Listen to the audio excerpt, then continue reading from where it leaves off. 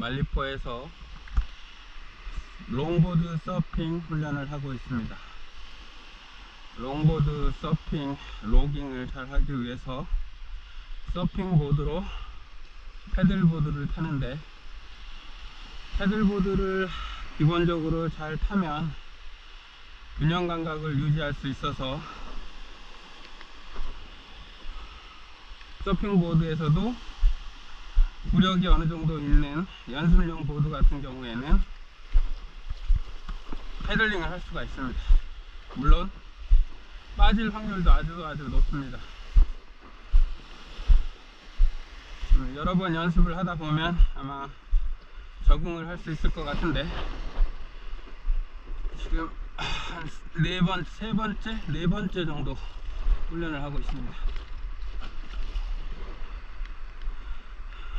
한번 가보겠습니다.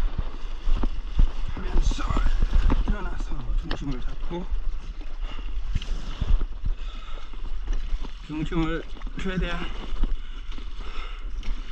최대한 잘 잡고 어느 정도 속도를 유지를 해야 넘어지지 않을 수 있습니다. 멈춰서면 밸런스를 잃어버리기 때문에 일단은 후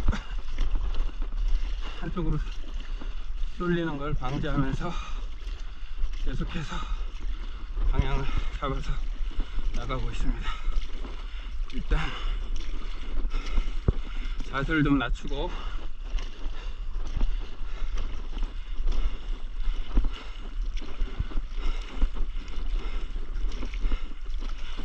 이 훈련을 하면 아마 어, 감각에는 상당한 도움이 있을 것 같습니다. 우, 우치. 서핑을 해보자 이제.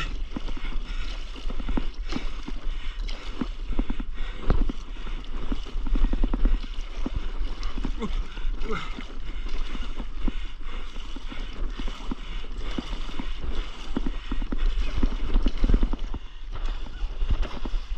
우와.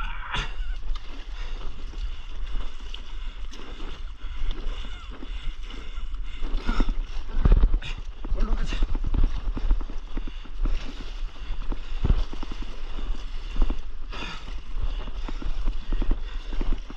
우. 아이고 힘들다. 하. 만만치 않네.